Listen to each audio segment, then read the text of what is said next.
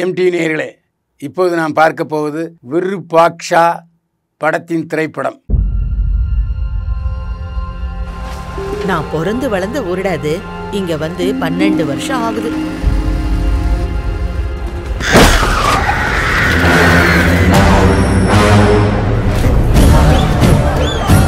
கோவிலையும் ஊரையும் அஷ்டதிக் பந்தனம் போட்டு மூடிடுங்க.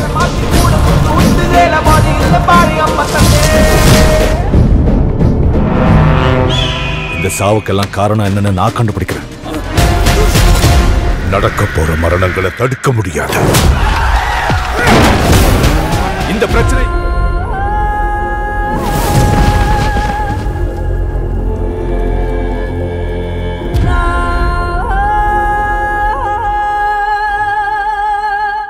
இந்த படத்தில் சாய் தரன் தேஜ் சம்யுக்தா மேனன் மற்றும் பலர் நடித்திருக்கிறார்கள்.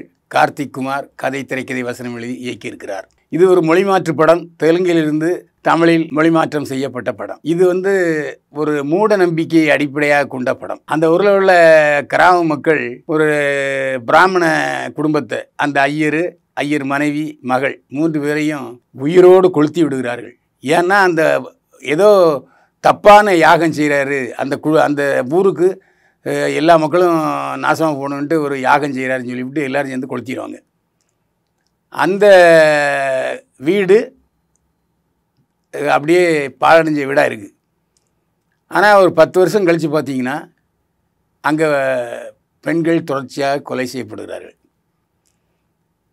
சம்யுக்தாவை ராம்தரன் தேஜ் காதலிப்பார். ஆனால் சம்யுக்தாவுக்கு உள்ளுக்குள்ளே ஆவி பூந்துக்கிட்டு பேய் மாதிரி அவருடைய நடவடிக்கைகள் இருக்கும். இதை கதாநாயகன் கண்டுபிடிக்கிறாரு. எப்படி அந்த ஆவி பூந்த விஷயத்தை கண்டுபிடிக்கிறாரு? எதனால் அந்த ஊருக்கு இவ்வளோ ஒரு சாபக்கேடு? தொடர்ந்து கொலைகள் நடைபெறுகின்றன என்பதை கண்டுபிடிக்கிறது தான் கதாநாயகனோட வேலை. ஆனால் யாருமே நமக்கு தெரிஞ்ச முகம் இல்லை. ஏன்னா தெ எல்லாம் தெலுங்கு நடிகர் நடிகைகள். ஆனாலும் படம் வந்து ஒரு பேய் படத்தில் ரொம்ப விறுவிறுப்பாக போகுது. அதில் எந்த சந்தேகமே இல்லை. அதான் நம்ம புரியுதோ புரியலையோ அது வந்து நம்பிக்கை இருக்குமாங்கிறது கூட எனக்கு தெரியல. எனக்கு அதில் முழுமையாக நம்பிக்கை கிடையாது. ஆனாலும் படத்தில் பேய் இருக்குது ஆவி இருக்குது பிசாசு இருக்குதுன்னு சொல்லிட்டு ஊர் மக்கள் பூரா நம்புவாங்க. ஒரு கோகைக்கு போவாங்க. அங்கே இருக்கு. இதெல்லாம் ஆனாலும் பார்க்கும்போது ஒரு ஏதோ சொல்ல வர்றாங்க. ஆனால் நமக்கு புரியலை. நம்ம ஏற்றுக்கொள்ள முடியலங்கிற மட்டும் தெரியுது. ஆனால் படம் போர் அடிக்கலை. சில காட்சிகள்லாம் நம்மளை வந்து அச்சுறுத்துது பயமுறுத்துது. குழந்தைகளோட போய் இந்த படத்தை பார்க்க முடியாது. அந்த மாதிரி இருக்குது விருப்பாக்ஷா உங்களுக்கு பேய் படம் பிடிக்குமா? பேய் படம் பிடிச்சா இந்த படமும் பிடிக்கும். பேய் பிரியர்களுக்கு மட்டும் விருப்பாக்ஷா.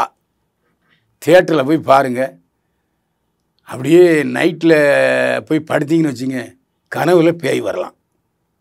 அதுக்கு நான் உறுதி சொல்ல முடியும். பைல்வான் பார்வையில் விருப்பாக்ஷா படத்துக்கு நூற்றுக்கு முப்பத்தைந்து மதிப்பெண்கள் மீண்டும் சந்திப்போம். வாழ்க வளமுடன்.